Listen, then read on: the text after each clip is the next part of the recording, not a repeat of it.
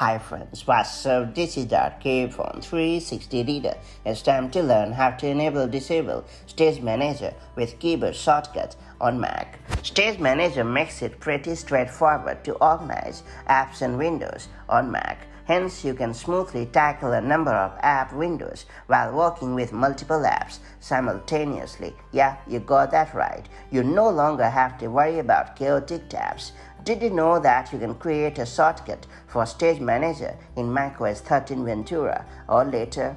Well, let me show you how to enable disable Stage Manager with keyboard shortcut on Mac the right way. Before getting started, make sure you have subscribed our YouTube channel and hit the bell icon so that you won't miss any update from 360 Reader. First and foremost, open the System Settings app on your Mac.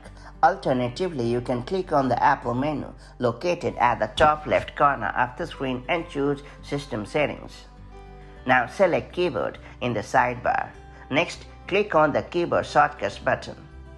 Next up, click on Mission Control. Up next, double click on None next to the Stage Manager setting. Now press the keys that you would like to use as a shortcut. For the purpose of this guide, I'm going to use Command plus K keyboard shortcut to activate or disable the Stage Manager on Mac. Finally, make sure to click on them and you are all set. That's all there is to it. Going forward, you can turn on or off Stage Manager on your Mac using this very keyboard shortcut.